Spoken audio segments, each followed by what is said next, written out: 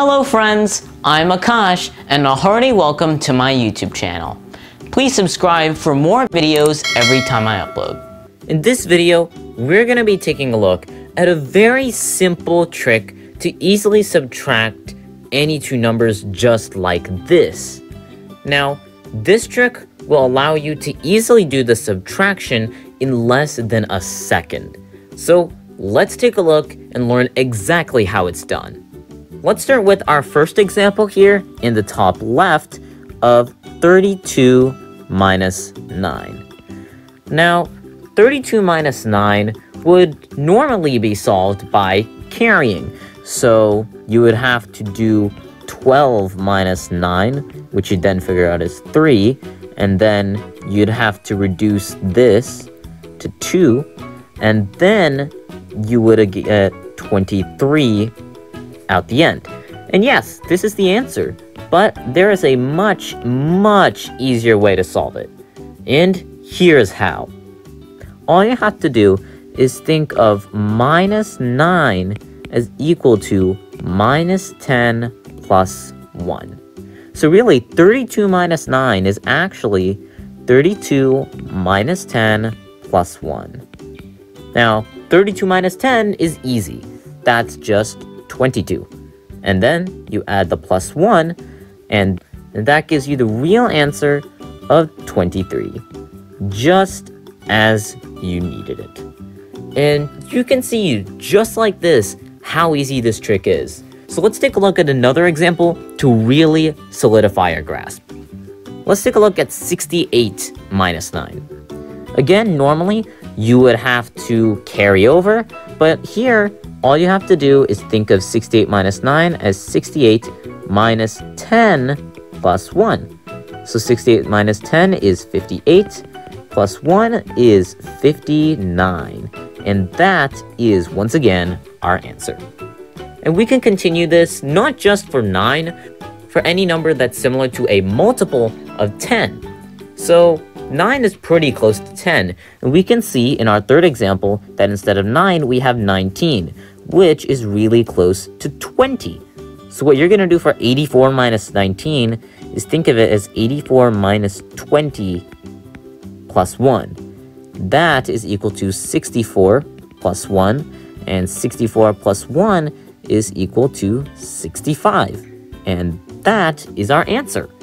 And we can do this for our fourth example too, and say, well, 77 minus 18, 18 is pretty close to 20, so if we treated this as 77 minus 20 plus 2, that gives us 57 plus 2, which is equal to 59 go a little bit bigger with few more examples. Let's start with 181 minus 99. Now, for this one, this is pretty close to 100. So if we can say 181 minus 100 plus 1, you get just 81 plus 1, which is equal to 82. And once again, that's our answer. For number 2 here, 650 minus 37, we can treat it as 650 minus 40, and then we can add 3. This gives us 610, which added 3 gives you 613. And we can just keep going. For this third one, we can think of this 128 as 130 here, and then add 2. So, if we do this, you will get, well, the 7 stays the same. 9 minus 1 gives you 8. 8 minus 3 gives you 5. And the 4 stays the same. So you get 7854. And then, once you add 2, you get 7856. Once again, the answer to this problem. And finally, we can get to 9999 minus 1899. And even for this one, you follow the same exact trick. Just do this.